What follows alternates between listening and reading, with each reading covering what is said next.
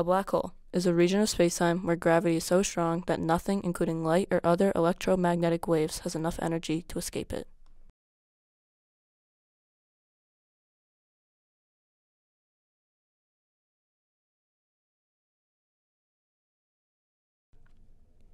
A black hole about 10 times more massive than our sun lurks just 1,560 light years from Earth, a new study reports.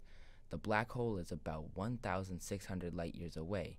That's still a long way off, but it's the closest black hole so far, and in galactic terms, it is the cosmic backyard, states Earth's sky. The system also harbors a sun like companion star. The study team isn't sure how the star and black hole came to be in the current positions.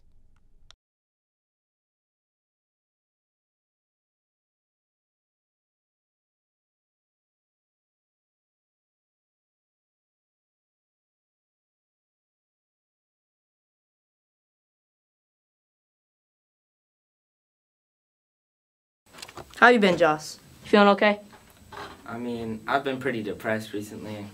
I'm kind of scared for this black hole and what it can do to our Earth and what it can do to our environment. Mm-hmm. It's very dangerous, and we need to do something quickly. How does this affect your daily life, Joss? I mean, when I wake up, I think about it, but I remember the things I love most, like my family and my friends, and it kind of goes away, but I, I'm still very scared. What do you think you're going to be doing on the last day when you know that the black hole's coming to Earth? Um, of course, I'm gonna be hanging out with friends and family, but other than that, I don't really know what I'm gonna be doing.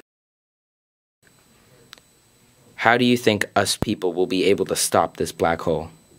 You know, I have a lot of trust in NASA.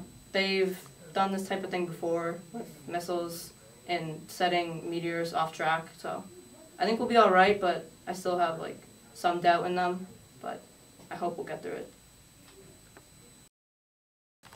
Where do you think this black hole came from? Um, I don't really know where it came from, but I hope NASA can find a way to divert this black hole somewhere else so we can all be safe.